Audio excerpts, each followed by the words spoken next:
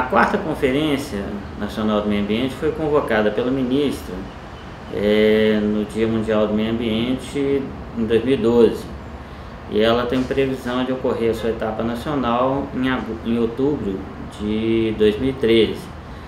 Nós vamos ter etapas preparatórias nos estados que elegem os delegados e trazem as propostas dos estados para a Conferência Nacional e também a realização de conferências municipais, conferências regionais.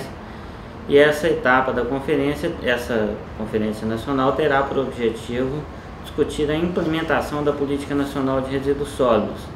Essa política teve um longo período de debate e discussão na Câmara dos Deputados, no Senado Federal, e aprovada em 2010, aprovada e sancionada em 2010, temos agora um grande desafio que é a sua implementação nós temos diversos instrumentos da política que estão sendo conduzidos pelo governo federal, como a elaboração do Plano Nacional de Gestão de Resíduos Sólidos, a logística reversa, que tem aí nas cadeias produtivas o desafio de fazer com que essas cadeias produtivas possam recolher o resíduo gerado pela indústria e também evitar a produção de resíduo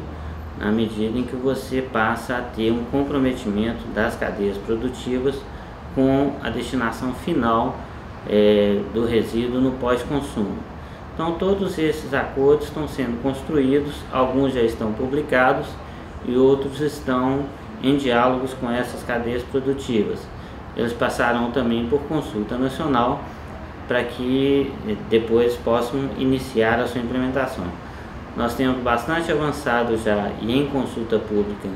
a cadeia das embalagens e a cadeia dos resíduos eletroeletrônicos, que são hoje é, um quantitativo bastante elevado na somatória geral dos resíduos sólidos no Brasil. Nós temos tido uma boa, um bom retorno por parte dos estados e dos municípios. Eles já iniciaram seus processos de mobilização. Agora há pouco eu recebi uma notícia da cidade de São Paulo que já convocará a sua conferência para o dia 30 e 31 de agosto agora de 2013. Enfim,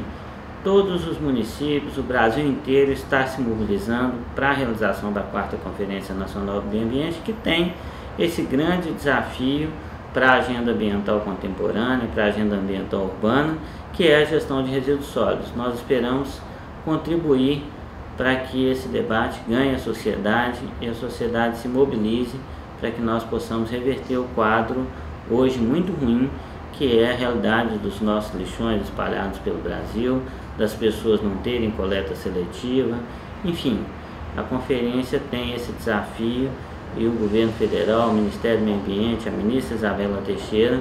assumiu essa responsabilidade e nós conduziremos a conferência até outubro e esperamos que ela possa dar essa grande contribuição à sociedade brasileira.